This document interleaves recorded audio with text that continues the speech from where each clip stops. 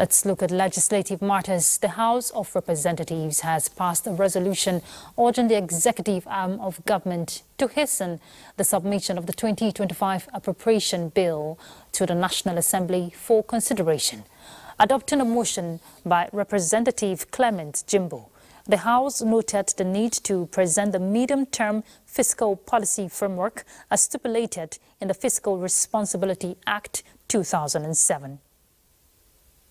The House further notes that Section 11, subsection 1b, stipulates that the federal government must, not later than four months before the commencement of the next financial year, cause to be prepared and laid before the National Assembly and entered for the next three financial years. Further worried that the time the National Assembly requires to exercise its functions as enshrined in section 88 subsection 2b is technically being taken away by the non-compliance of section 11b of Fiscal Responsibility Act by the executive.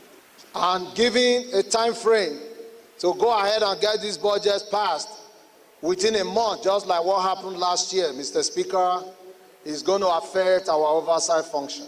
The last budget, like we rightly noted, we were almost rushed. In fact, we were rushed into concluding that budget. And that is what we want to avoid. We must have the full time to examine the details. The full time. Those in support of this motion should say aye. Those against should say nay. That is have it. This motion is referred to the Committees on National Planning and Economic Development, appropriation and finance for further legislative action, and they are given two weeks to report back to the House.